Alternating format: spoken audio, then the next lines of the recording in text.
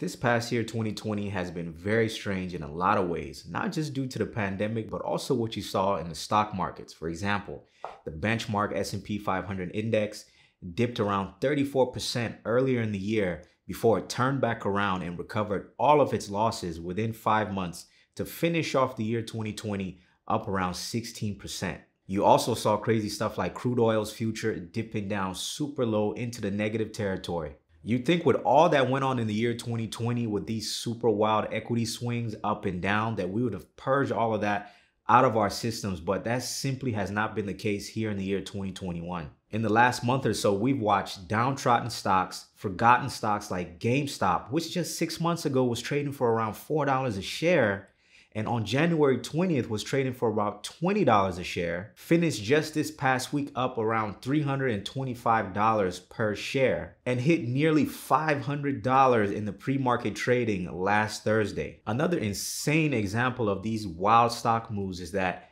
the theater chain AMC, which just two weeks ago was trading for around $2 a share, but just last week was up almost $20 per share. Now the question then becomes is how on earth are such wild fluctuations or wild moves possible? Short answer is that there's a group of retail investors that want to show Wall Street what they're capable of. Essentially, a large group of retail investors have banded together under Reddit's Wall Street Bets chat room to go ahead and buy up stocks that they feel is overly shorted or being shorted heavily. Now, what made these meteoric moves so explosive is the ability to create what's called a short squeeze. A short squeeze basically boils down to simple buy and demand. If more shares are for sale than people are willing to buy, then the price will eventually go down until more buyers are interested. Now, on the flip side, if there are more investors that want to buy a stock, than there are available shares to sell, then the price will eventually go up and up and up until the price reaches a point where the people that have the shares are willing to sell to those investors that want to buy. When you're short selling, losses can be unlimited. So this causes people to kind of panic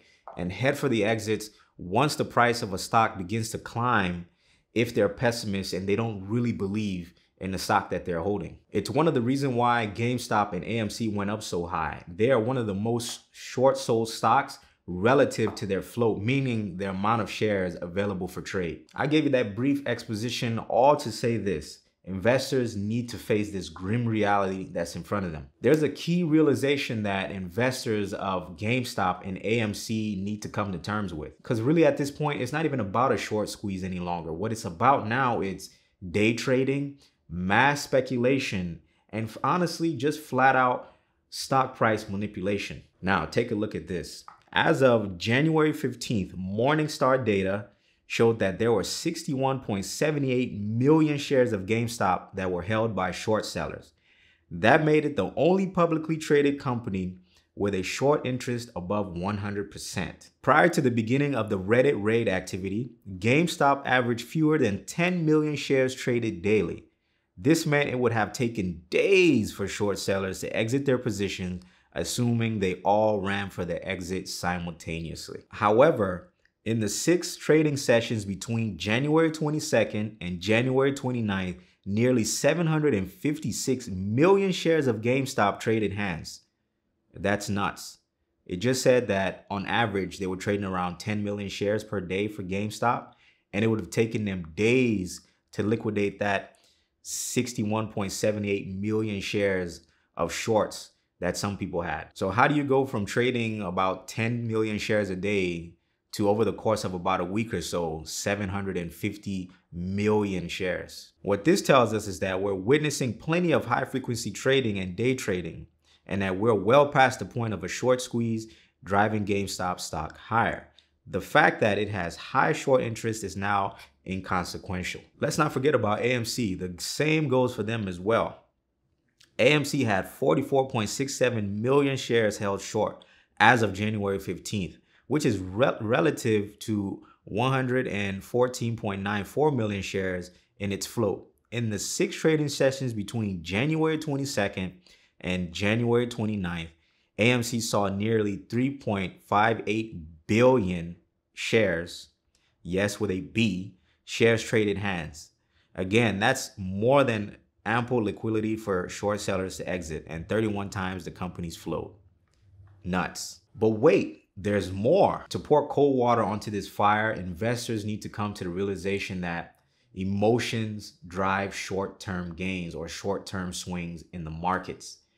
Long term investors need to look at fundamentals of the company. They need to know what the earnings are, what the company plans on doing in order to make sound decisions on what they want to invest in. While GameStop did see its e-commerce revenue more than quadruple during the 2020 holiday season as it attempts to shift more towards digital sales, the company's overall revenue just keeps sliding and it's on track to deliver its third consecutive full year loss. GameStop is attempting to cut costs by backpedaling and closing physical stores in order to try to generate or make up some revenue, but I just don't see it helping. I just don't see it happening. I just don't see GameStop offering growth. And as of right now, the stock price is around $55 per share. Just yesterday, it was around $100 per share. So take that with a grain of salt put that in your pipe and smoke it. Now, as for AMC, just two weeks ago, they narrowly avoided having to file for bankruptcy. They were able to generate almost a billion dollars by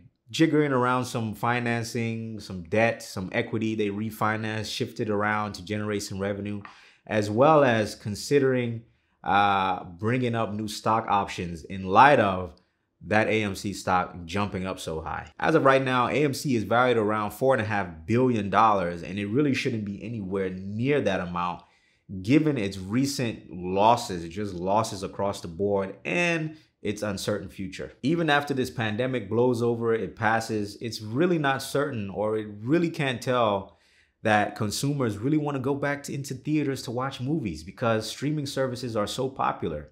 Why go out and watch a movie when I can just turn on the TV or turn on my phone and pretty much get on demand access to whatever I feel like watching. So at this point, it's not really a matter of if GameStop and AMC will come crashing down to earth, come crashing back to reality, but it's just a matter of when. So that's it for this video. I hope you enjoyed it. I encourage you to smash that like button. It really helps me out with the algorithm. Also consider sharing the video if you found it informative entertaining at all with a friend or family member that you think can benefit. Also, leave me a comment down below. I want to hear from you guys. Do you think I'm just being too harsh? Am I just a pessimistic? Do I not like GameStop or AMC? Do you feel like both of those stocks are going back to the moon and having a repeat of that January 2021 that they just had? Or do you also feel like they're gonna come crashing right back down just the way they are? I also make videos just like this one every single week, multiple times a week on investing, finance, the stock market, and how to build wealth. So if you enjoyed this video, I encourage you to stick around and I'll see you in the next video. Peace.